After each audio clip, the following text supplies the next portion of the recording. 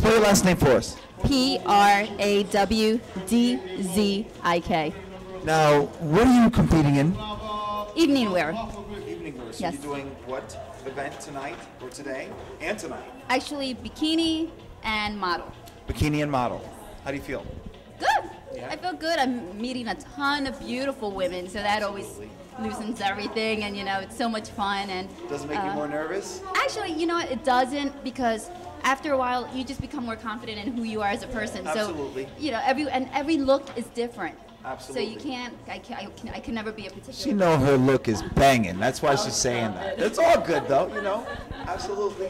So you know a little bit about the food, a little bit about the cardio. What do you do? Seven day a week workout, five.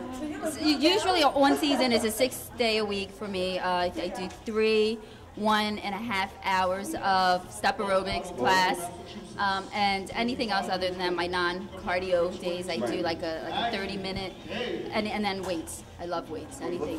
Thank you you very know. much. We- very I'm much. sure you're gonna go out there and rock the stage. We look forward to seeing that. Thank you All right, much. maybe we get an interview later on tonight. Most definitely. All right, thank Great. you very much. Thank you for your time. right, thank you. Bye.